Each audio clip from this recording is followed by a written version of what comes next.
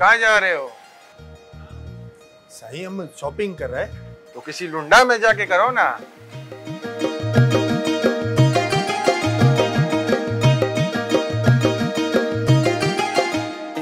अबे तेरे को इस पे चढ़ने नहीं आता? कान सिन से मुँह उठा के आ गया सही जाओ अपना काम करो।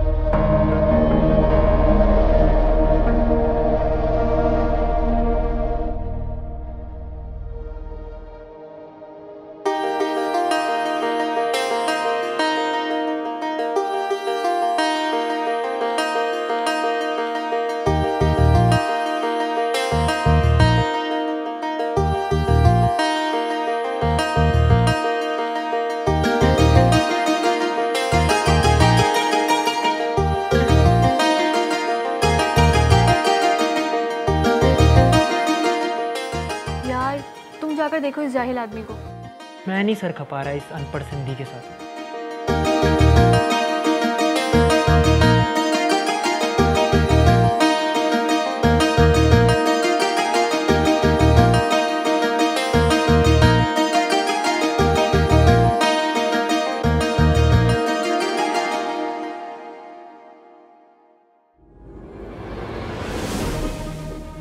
सिंधी जट क्या लेने आयो अदीब आप क्या बोल रहे हैं? तुम जैसे ड्रामेबाजों से हम बखूबी वाकिफ हैं। तुम सिंध से आयो ना? तुम्हें इस मॉल में घुसने किसने दिया? हदीब आप ये क्या बोल रहे हैं? हमको कुछ समझ नहीं आ रहा है। तुम लोग बनते ही ऐसे हो। हमने तो पहले ही कहा था सिंध से आए अनपढ़ जाहिल लोगों पर यहाँ पाबंदी होनी चाहिए। सदर से चीज़ खरीदने की औकात नहीं और आ गए शॉपिंग मॉल तुम्हें पता है तुम किस ब्रांड में खड़े हुए हो? कपड़े का दुकान है। दिखने में अच्छा है हमको अच्छा लग रहा है बहुत। लेकिन तुम इस दुकान को पसंद नहीं आए जाहिलों वाली शलवार कमीज पहनी है। तुम्हारा क्या काम है इस आउटलेट पे? और ये क्या तुम अजरक और टोपी पहनकर आ गए हो? ये कोई सिंध का गाँव समझा हुआ है? कराची में आए हो कुछ तहजीब सीख लो तुम लोग। क्या हुआ बाबा साईं? तुम लोग बदतमीजी क्यों कर रहा है? यहाँ से निकल जाओ। ये तुम्हारे बाप की दुकान नहीं है। जहाँ मुँह उठा के चले आओ। अरे ऐसे कैसे? पहले तलाशी तो लो। ये सिंधी खानदानी डकैत होते हैं। तलाशी अदी? ये ऐसे नहीं मानेगा। इसको सिक्योरिटी के हवाले करना पड़ेगा। अदा अदा अदा अदा साईं! अरे हमको मौला का कसम हमने नहीं किया चोरी। कसम? तुम सिंधियों का कोई दीन ईमान है? झूठी कसम उठाना तो कोई तुम लोगों से सीखे। तुम तलाशी दे रहे हो या हम सिक्योरिटी को बुलाएँ? हमारा बात तो सुनो बाबा साईं ये नहीं किया है चोरी। अपना बीवी बच्चा के लिए कपड़ा ले रहा था। रंगे हाथों पकड़े गए हो तुम इसीलिए दो कौड़ी की औकात पर उतर आए। एक इज़्ज़त वाला आदमी है साईं। तुम सिंधी और इज़्ज़त वाले? सिंध में रहने वाले लोग बेमान डाकू और डकैत ही हो सकते हैं। तुम लोगों का इज़्ज़त से दूर दूर तक कोई ताल्लुक नहीं। यार तुम कॉल मिलाओ सिक्योरिटी डिपार्टमेंट को? पता नहीं किस जाहिल में फंस गए हम।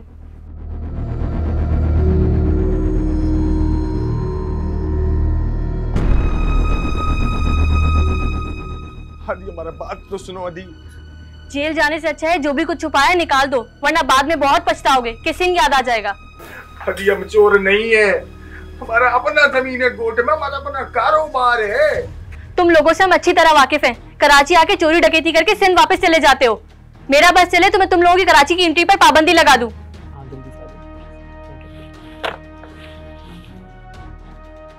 ये मान रहे हैं या नहीं? बाबा हमारा बात तो सुनो। बहुत ही ढीठ किस्म के होते हैं ये सिंधी। ये ऐसे नहीं मानेगा। ये लोग जूता खाने के बाद ही सीधे होते हैं। मैंने सिक्योरिटी को बुला लिया। अब तो इसके बड़े भी बोलेंगे। हाँ भाई यही है वो। ये है वो आदमी जिसने यहाँ से चीज़ें चुरा ली हैं। अदा साईं हम इतना बड़ा कपड़ा कैसे छुपाएगा? हमारा ऐसा नहीं तरबियत है ना ही हमारा ऐसा आदत है। तुमने टी शर्टें छुपा रखी है अपनी इस अजरक में? और तुम ये टी शर्टों का क्या करोगे? तुम अपनी ये मेली कुचेली अजरक लपेटो और तुम इसी लायक हो। अरे हम अजरक के अंदर किधर छुपाए? नहीं छुपाए अजरक के अंदर।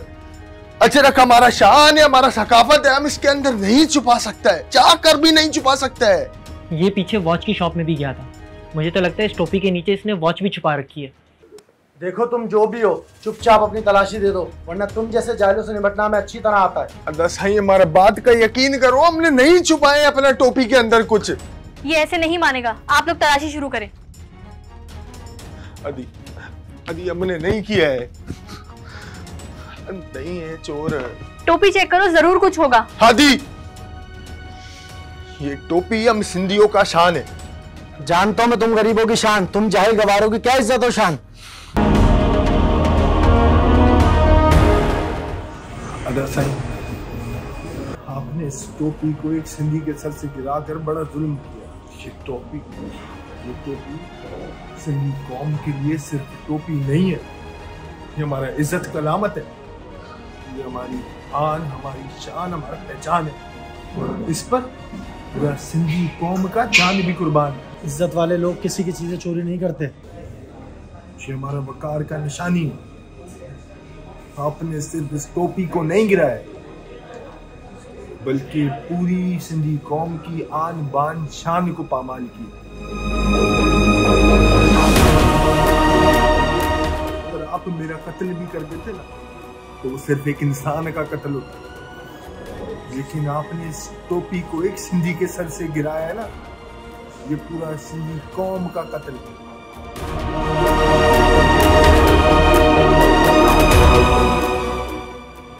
हमारे लिए बेहद मुकद्दस है। अरे, इतना मुकद्दस जितना किसी किसी मुसलमान के लिए उसका कुरान ज़रूर इसके चोर साथी इसके साथ होंगे। इसने चीज़ें उन्हें दे दी होंगी। ये सिंधी बड़े जालिम और शातिर दिमाग के होते हैं। वरना इन सिंधियों के पास इतना पैसा कहाँ कि ये मॉल में घुस भी सके? ज़रूर कुछ गड़बड़ है। अगर आप लोग बोले तो मैं पुलिस को बुलाऊं। हाँ आप पुलिस को बुला लीजिए। नहीं क्या है कुछ? नहीं है हमारा पास कुछ भी। सर सर आप यहाँ? इंस्पेक्टर साहब आप इसे क्यों सैल्यूट कर रहे हैं? यही तो मुलजिम है। ये हमारे नए एसपी हैं यहाँ के। ये एसपी कासिम खान है। चार दिन पहले ही इनकी यहाँ पोस्टिंग हुई है। बोलिए जो बोलना था। निकाल ली दिल की भड़ास। हाँ अभी भी कुछ बाकी है तो बोल सकते हो। आसान है ना? जो आदमी गाँव से आया हो, सादा हो, उसकी इज़्ज़त को तार तार कर देना। जब से मॉल में दाखिल हुआ यहाँ पर हर मौजूद शख्स मेरा मज़ाक उड़ा रहा है। मुझे जुमले कस रहा है। मगर मैं चुपचाप सुनता रहा, क्या हो गया? अगर कोई इंसान गाँव से आया और उसे लिफ्ट यूज़ करना नहीं आता। तो क्या बुराई है उसमें? कि अगर किसी इंसान को पुश और पुल का मतलब नहीं मालूम तो इसमें क्या बुराई क्या हमारी कौमी जबान अंग्रेज़ी है? आज हर कोई इंक्लूडिंग ऑल ऑफ़ अस अंग्रेज़ी के पीछे भागता हुआ नज़र आता क्या अपनी कौमी जबान बोलने वाला, सकाफती लिबास पहनने वाला जाहिल होता है? ये पता नहीं कैसा मैार बना लिया आप लोगों ने। चोर डाकू का ताल्लुक कौम और मज़हब से नहीं है। क्या अगर सिंध में कुछ लोग पेशावर मुजरिम हैं? क्या उससे बड़े मुजरिम कराची में नहीं है। क्या अंग्रेज़ी बोलने वाले और पैंट, शर्ट पहनने वाले कराची के लोग भत्ताखोर नहीं है। क्या आज तक इन लोगों की वजह से किसी भी सिंधी ने कराची वालों को कोई बुरा भला कहा, ताने दिए उन्हें? कभी भी नहीं। और फिर इस लड़की ने कहा कि कराची आकर तुम लोग चोरी करते हो और फिर अपने गाँव गोट वापस चले जाते हो। मोहतरमा कराची सिंध में ही है और कराची सिंध का दिल है। यह हम सबका शहर है। दिल होगा तो कराची भी आएँगे और हैदराबाद और सखर भी जाएँगे। ये अपनी धरती है। किसी से एनओसी लेकर नहीं घूमेंगे सिंध के सिंधी।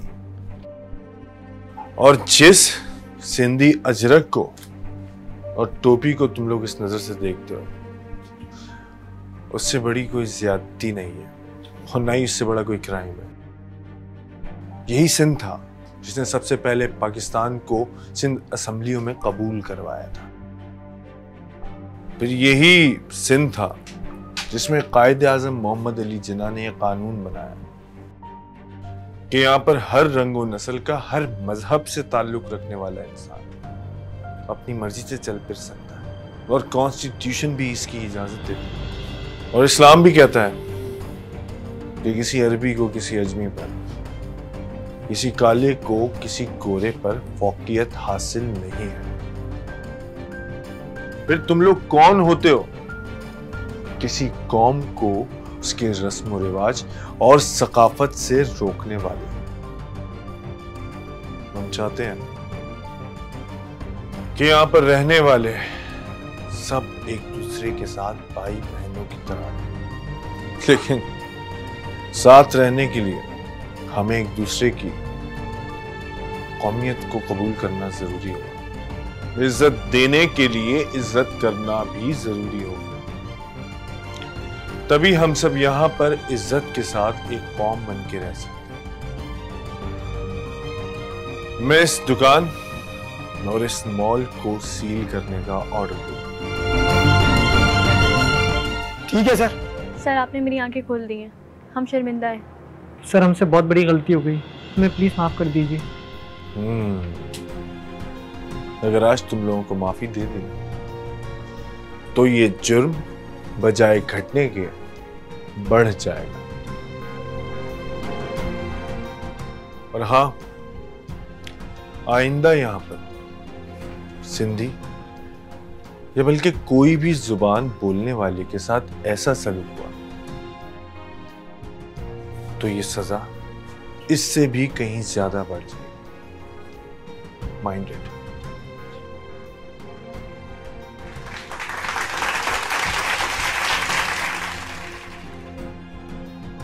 मैं आप सबको इस वीडियो के थ्रू एक मैसेज देना चाहता हूँ। मुझ समेत हम सबको मज़हब और कौमियत के नाम पर गुमराह किया वक्त आ गया है कि हम खुद को अंदर से तब्दील करें।